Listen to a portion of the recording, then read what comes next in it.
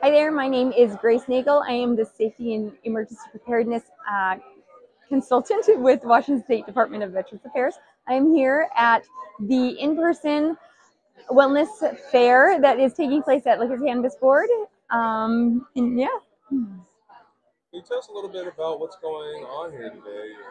What are some of the uh, organizations that are here? Yeah, so part of wellness, there are multiple pillars of wellness that we talk about. There's, you know, the ones that, that everybody thinks about, which is emotional wellness or um, uh, nutritional wellness or, or like physical wellness. But we try and and gather as many people to talk about all the other types of wellness, like uh, spiritual wellness or financial wellness. So we have about 25 different vendors that are here addressing all the different types of wellness. So uh, a lot of people say that wellness doesn't really uh, intersect with their with their job, but we believe that wellness is taking care of yourself, and when you're taking care of yourself, you're going to be a better employee. So that is what the wellness committee is all about.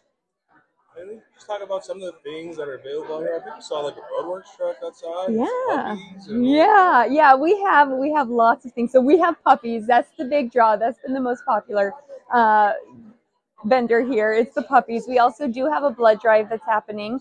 Uh, we have uh, we ha- we have the Olympia Police Department that is here with their dog. Also, we have um, some nutritional some nutritionists. We have financial wellness. So from Department of Financial Institutions, Department of Retirement Systems.